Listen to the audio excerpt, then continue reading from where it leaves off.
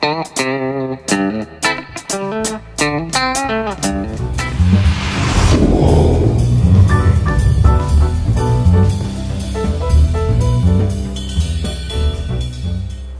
друзья! Меня зовут Лошкарев Андрей. Это проект «Все по уму настройки». Я продолжаю строить дом из газобетона. И сегодня у нас 19 20 и уже конец 21 дня стройки.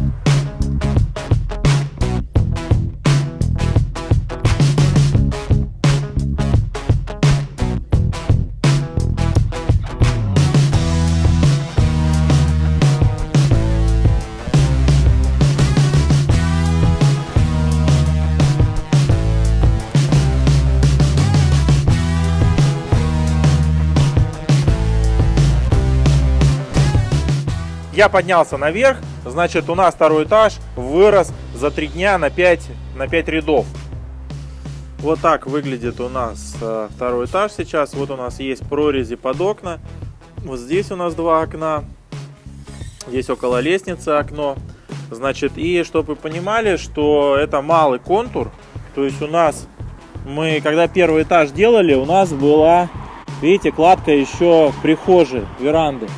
Там у нас э, второго этажа не будет, поэтому кладка ведется у нас по малому контуру. То же самое, сейчас я... Здесь котельная. Вот, видите? Котельная. Поэтому за три дня у нас 5 рядов здесь и выложим.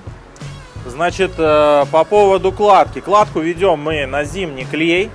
Вот, э, греем воду, как я говорил в предыдущих сериях.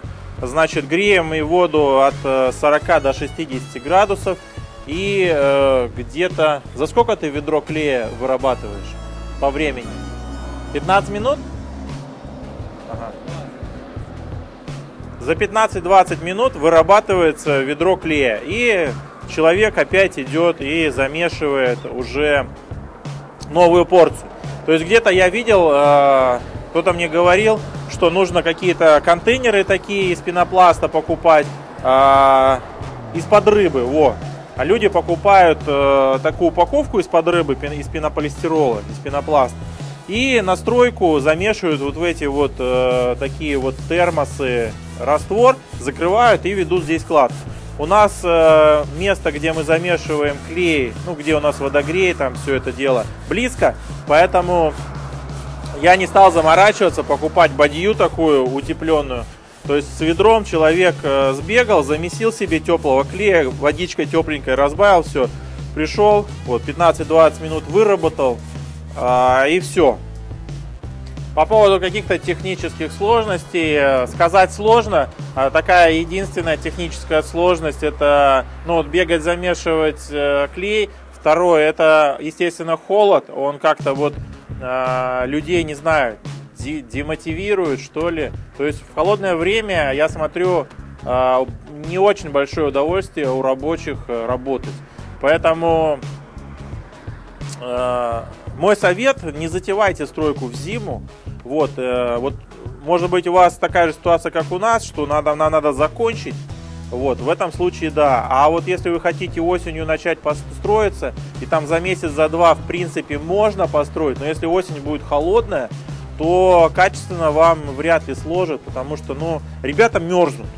Мерзнут, э, ветер, ветер здесь их продувает. Да, они когда несут блок, они им вроде жарко, тепло, а когда они начинают мазать клей, там, э, ставить, там, пилить что-то, еще что-то, подчесывать, э, то есть человек остановился, все, сразу остыл. И вот, э, кстати, э, очень быстро люди простужаются и заболевают просто.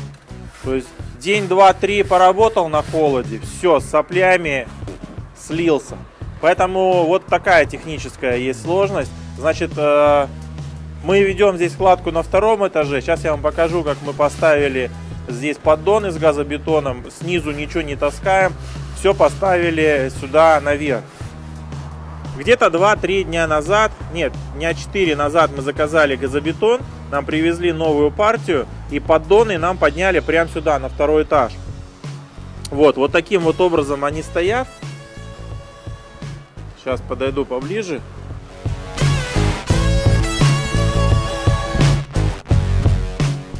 Брака очень мало, практически нет. То есть, ну, вот смотрите.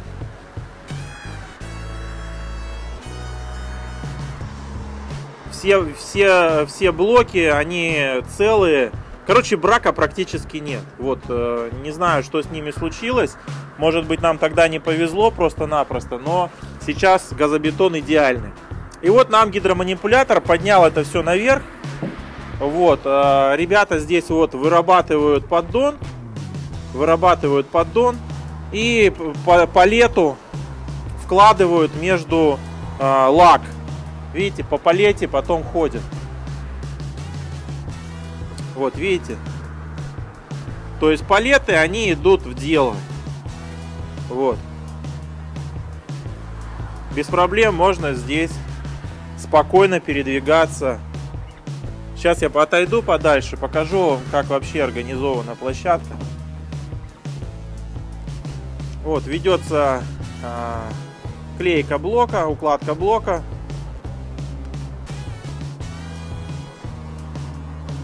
Как видите, совершенно спокойно здесь можно передвигаться без проблем. Сейчас, когда стены подрастут, а, будем делать э, леса, козлы ставить, чтобы можно было блок укладывать а, уже выше человеческого роста, потому что, ну, блоки уже поднимать тяжело. Кладка блоков второго этажа, как вы понимаете, происходит точно так же, как и кладка блоков э, первого этажа. Абсолютно нет никакой разницы. Была заморочка с армопоясом, что он кривоватый и нужно было выровнять. Но это та же самая ситуация, что и с фундаментом. Когда мы первый ряд блоков выкладывали на фундамент и точно так же выравнивали все. А дальше идут ряды, а, как и на первом этаже, с промежуточным армированием.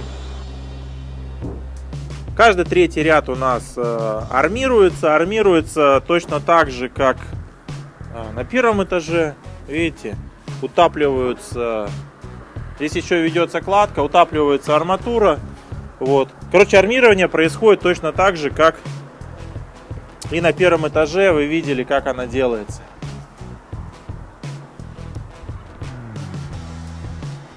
Все, друзья, больше вам тут показывать особо интересного нечего. Поэтому я свой репортаж э, заканчиваю. Если у вас есть какие-то вопросы по поводу кладки второго этажа, задавайте. Но, как вы видите, я еще в самом начале, наверное, месяца полтора назад говорил, что стройка это не очень сложное, а точнее очень простое занятие.